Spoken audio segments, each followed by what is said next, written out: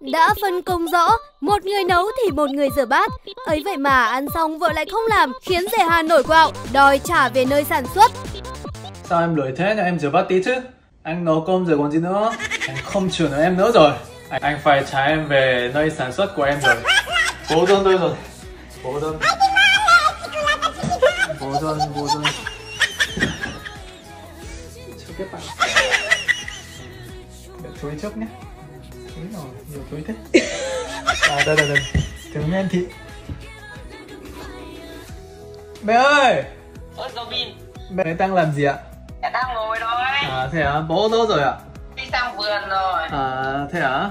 Mẹ ơi, em vừa nãy nấu cơm cho cho con của con của mẹ á.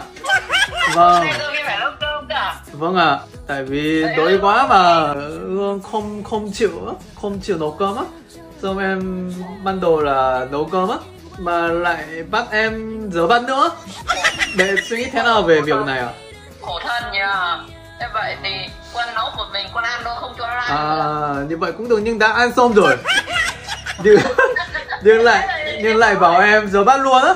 Em tức là vô lý yêu luôn á. Quân lại xong quân đập ra tay là nó phải mua cái khác Phải phải rửa rửa nữa À, ý là Petty hả? À, à, à, vâng. À, em cũng muốn nói chuyện với bố nữa. Kiểu phải báo cáo bố mới được. Mẹ mỏi lắm rồi. Có thể trả hàng được không? Trả hàng về nơi sản xuất của của Hương.